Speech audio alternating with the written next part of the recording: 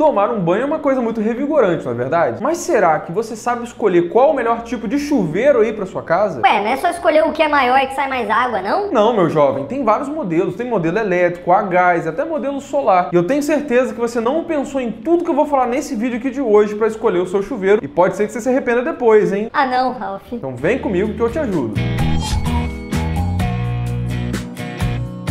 Fala pessoal, tudo bom? Existe uma infinidade de tipos de chuveiro aí no mercado. E tem várias coisas que a gente precisa analisar na hora de comprar o nosso chuveiro. Como, por exemplo, a forma de aquecimento que ele vai ter, a pressão da água, a potência, se vai ser um chuveiro de parede, se vai ser um de teto. Tem até box com dois chuveiros hoje em dia, pra você ter ideia. E hoje eu quero te ajudar exatamente com essa escolha aí, tá, pessoal? Mas só deixando claro que eu não vou ficar aqui falando de marcas, eu quero te ajudar com as informações que você tem que usar na hora de escolher o seu chuveiro, tá bom? Mas uma coisa que você não pode deixar de fazer é o quê? Deixar um like nesse vídeo, dá uma força pra gente aí, por favor. Esse like ajuda muito o nosso vídeo a alcançar mais pessoas aqui no YouTube, pra gente ajudar mais pessoas também a escolherem bons chuveiros nas suas casas. E se você não se inscreveu ainda, ó, se inscreve aqui embaixo. Quase 70% das pessoas que assistem os vídeos não se inscrevem no canal. Poxa, não faz isso não, dá essa força pra gente, a gente faz os vídeos com muito carinho, tá bom? Mas vamos lá, pessoal, vamos começar diferenciando o que é chuveiro, o que é ducha, que muita gente se confunde. O chuveiro, ele costuma cair a água ali na vertical e ele tem uma pressão menor. Já a ducha, ela sai a água ali um pouco inclinada, meio que na diagonal e também tem mais pressão de água. Que história é essa de pressão de água, Ralph? Calma, eu vou te explicar. Isso é uma coisa muito importante na hora de você escolher o seu chuveiro. Por exemplo, se na sua casa você tem um registro só, é muito provável que essa água venha direto ali da sua caixa d'água. E quanto mais distante for a sua caixa d'água do seu chuveiro, maior vai ser a pressão de água que vai sair ali para você. Essa distância da caixa d'água ali, ó, da base dela até o seu chuveiro, tem que ter no mínimo um metro. Mas quanto maior for essa distância aí, melhor vai ser essa pressão aí de água para o seu banho. Só para você ter uma ideia, o chuveiro ele fica a uma altura ali do chão de 2 metros e 10. Então você pode já calcular aí a altura que está o seu chuveiro até a caixa d'água ali. Toma cuidado que quanto mais alto ficar essa caixa d'água, né, querendo ou não, isso vai afetar a sua fachada, fica aquela caixona feia lá, enfim. Se você quiser que eu faça um vídeo só sobre caixa d'água, como calcular, onde colocar na sua casa, deixa aqui embaixo nos comentários para eu saber. Mas se por acaso a pressão de água que você tem ali não está sendo suficiente, está saindo pouca água no seu chuveiro, o ideal é você colocar um modelo ali que seja pressurizado, que eu já vou falar dele um pouquinho mais para frente nesse vídeo. Agora, se na sua casa você tem pelo menos dois registros ali, é muito provável que um esteja vindo da caixa d'água e o outro está vindo da rua. Nesse caso aí, provavelmente você deve ter uma pressão de água melhor. E além da distância, né, do seu chuveiro até a caixa d'água, também é muito interessante que você não tenha muitas curvas ali na sua tubulação, porque isso também pode diminuir a pressão de água. Já se você mora em um prédio, é muito provável que você tenha uma pressão de água muito mais interessante por conta, né, da coluna de água ali. Nesse caso, você já pode, por exemplo, ter um chuveiro comum e que pode ter um espalhador que seja pequeno, médio ou grande, ou seja, você tem mais liberdade por conta de ter mais pressão. O que é esse negócio de espalhador? Sabe a pergunta, meu jovem gafanhoto? Espalhador é aquela parte do seu chuveiro que tem aqueles furinhos, sabe, por onde sai a água. Quanto maior ele for, provavelmente mais confortável ele vai ser o seu banho. Mas se na sua casa tem muitas pessoas para tomar banho e você tem um espalhador maior assim, pode ser que você acabe gastando um pouco mais de água também. Toma cuidado com isso. E se o que você quer, por exemplo, são jatos de água que sejam mais fortes e concentrados, talvez um espalhador menor seja mais interessante para você. Agora vamos falar dos tipos de chuveiro que você pode encontrar aí no mercado e vamos começar com aquele que é o mais comum, que todo mundo praticamente já conhece aí, que é o chuveiro elétrico. Esse aí, pessoal, costuma ser o mais simples e fácil de ser instalado e também tem um bom custo-benefício, tá? Ele tem dentro dele ali uma resistência, tá? Você já deve ter escutado isso em alguma vez, onde essa água passa por ali e ao aquecer essa resistência, ela vai aquecendo a água praticamente instantaneamente, o que é uma vantagem, inclusive, em relação aos chuveiros a gás, que a gente já vai falar daqui a pouquinho. E para o chuveiro elétrico tem duas coisas que são muito importantes que você tem que analisar na hora de comprar. A primeira delas é a tensão, ou seja, a voltagem, que é medida em volts, que é aquele Vzinho. A outra coisa que você tem que analisar é a potência, que é medida em watts, que é aquele Wzinho. Na voltagem, pessoal, o chuveiro ele pode ser de 220 ou 110 volts. É importante dizer que normalmente o chuveiro de 220 volts ele esquenta mais a água do que o de 110. Porém, não tem uma diferença muito significativa em relação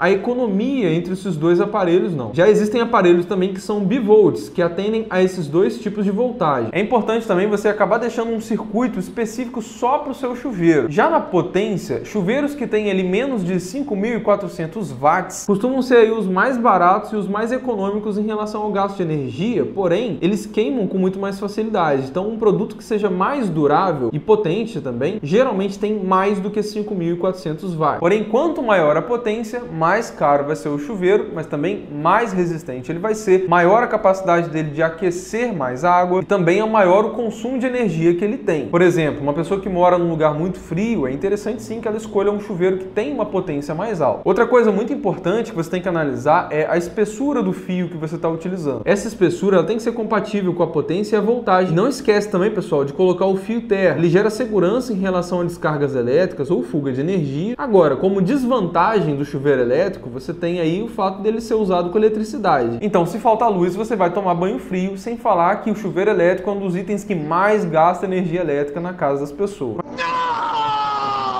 Mas o lado bom dele também é que ele é muito simples de você instalar, mas sempre conta com a ajuda de um eletricista para você fazer tudo direitinho, tá? Isso que eu acabei de falar é o conjunto de tudo que é um chuveiro elétrico, tá? Mas dentro dele existem algumas subdivisões, como por exemplo o chuveiro elétrico comum. É um dos mais conhecidos, né? E esse aí é indicado para chuveiros que tem uma boa pressão de água, ou seja, tem uma boa distância ali em relação à sua caixa d'água. Também é uma boa opção para quem tem uma residência que recebe água direto da rua, como a gente já falou. E esses chuveiros costumam ter ali um controle da temperatura da água que a gente chama de multitemperaturas, que você tem que regular enquanto o chuveiro está desligado. E a opção inverno é aquela que você mais gasta luz, então toma cuidado com isso. Outro modelo é o chuveiro elétrico pressurizado, que a gente até falou um pouquinho no começo desse vídeo. São aqueles que geralmente tem no nome ali a palavra turbo. Ele é ótimo aí se, por exemplo, a sua pressão de água for muito baixa. Ele possui dentro dele ali uma bomba acoplada responsável por aumentar realmente a pressão da sua água. Em alguns desses modelos aí você tem que tomar um certo cuidado em relação ao consumo maior de água ou de luz. E tem outros também que nem aumentam o consumo, pois o sistema é feito apenas com uma pressão de ar dentro da peça. E esses chuveiros costumam ser um pouco mais caros. Chuveiros elétricos eletrônicos, e esses aqui são aqueles que tem tipo uma hastezinha que fica pendurada nele. E o legal desse daí, pessoal, é que você tem uma regulagem de temperatura muito maior, não apenas quatro opções como você tem ali no modelo comum. E é interessante que você também não precisa desligar o chuveiro para fazer essas mudanças de temperatura. Você pode ir ajustando enquanto você está tomando o seu banho. Também é possível encontrar modelos eletrônicos que também são pressurizados. Outro modelo é o chuveiro híbrido, e esse daí, como o nome já diz, ele utiliza mais de uma forma ali, por exemplo, de aquecimento. Você pode utilizar ali com energia elétrica ou com energia solar, instalando aquelas placas solares e utilizando um boiler ali para poder ir acumulando essa água quente. Eu já fiz um vídeo só sobre aquecedores, que se você não assistiu ainda, eu vou deixar aqui em cima e aqui embaixo na descrição para você, tá? Vai lá que ficou muito legal, bem explicadinho, todos os tipos de aquecedores que você pode colocar na sua casa. E o legal desses chuveiros híbridos é que você não precisa depender só do sol para esquentar a sua água, porque num dia, por exemplo, nublado, um dia que você não tem muito sol, você acaba não tendo ali um bom aquecimento. E aí você acaba utilizando, por exemplo, energia elétrica para poder suprir isso. E é interessante que esse tipo de chuveiro aí é o que mais traz economia de luz, por exemplo, para sua casa. Também dá para fazer chuveiros híbridos utilizando aquecedores a gás também. Então já vamos falar então desse chuveiro aí, pessoal, que é o chuveiro a gás. Como o nome já diz, ele faz o aquecimento utilizando gás, que pode ser ali aquele gás encanado ou GLP. Esse aquecedor pode ser aquele de passagem, que é tipo uma caixinha, sabe, que fica ali na sua área de serviço, alguma coisa assim, ou mesmo por um sistema de boiler, onde essa água quente ela vai sendo armazenada ali dentro. No caso desses modelos de passagem, a água passa ali por dentro, tem ali, por exemplo, uma serpentina que esquenta essa água, depois ela vai para uma tubulação específica que aguenta né, a temperatura da água bem quente até chegar no seu chuveiro. Geralmente em prédios você já até tem uma instalação ali própria para esse tipo de instalação, onde você até encontra dois registros dentro do banheiro e você pode regular ali água quente e água fria, abrindo até os dois registros ao mesmo tempo se você achar legal. E com isso, com um chuveiro a gás, você acaba economizando muita luz em relação, por exemplo, ao chuveiro elétrico. Porém, também tem a desvantagem, porque essa primeira água que sai do seu chuveiro,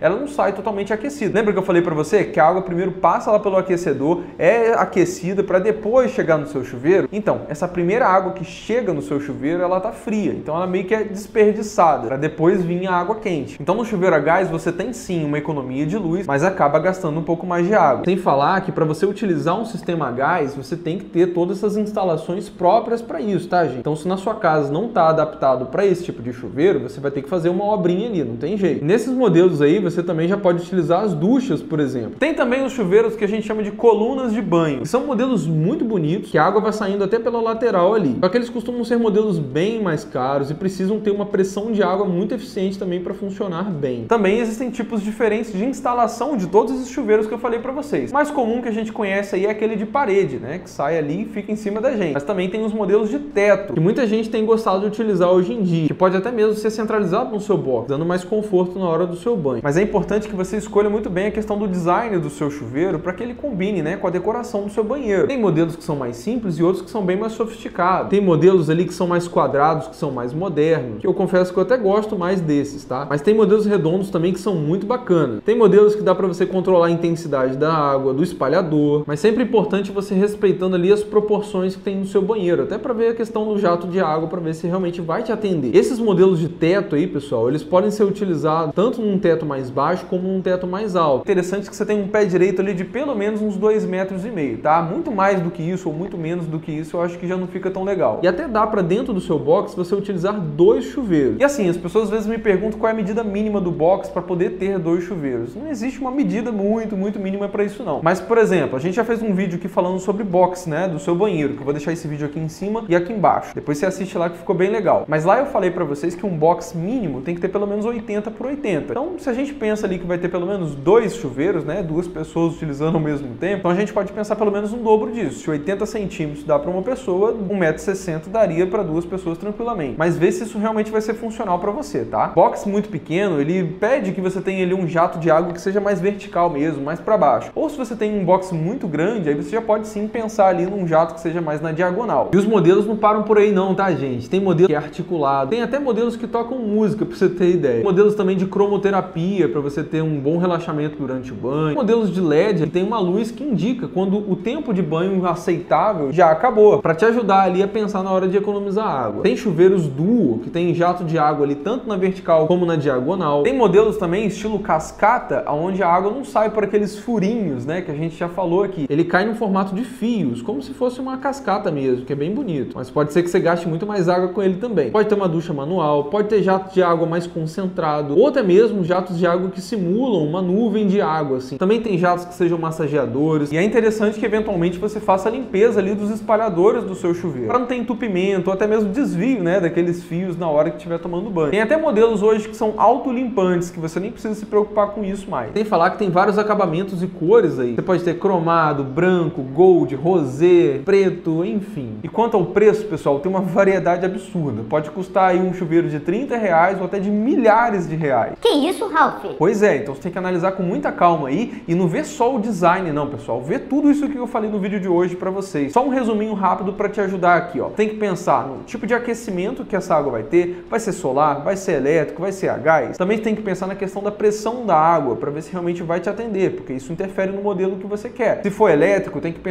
na voltagem, na potência, qual o tipo de espalhador que você quer, o tipo de jato que melhor vai te atender. Vai ser um modelo de parede, vai ser um modelo de teto, enfim. Eu espero de coração que esse vídeo aqui tenha te ajudado a escolher o chuveiro da sua casa. E se você conhece alguém que está precisando dessas informações aí, compartilhe com ela. Tenho certeza que vai ajudar aqui de alguma forma. Muito obrigado de coração você que assistiu esse vídeo até aqui. Você é fera demais. Se você não deixou um like ainda, não esquece não, tá? Deixa aqui embaixo, isso ajuda muito o nosso trabalho. E se inscreve no canal também se você não se inscreveu. Ó. Só apertar nessa bolinha aqui, ó. Valorize sempre o seu sonho, contrate um arquiteto. Um grande abraço e até o próximo vídeo. Tchau, tchau.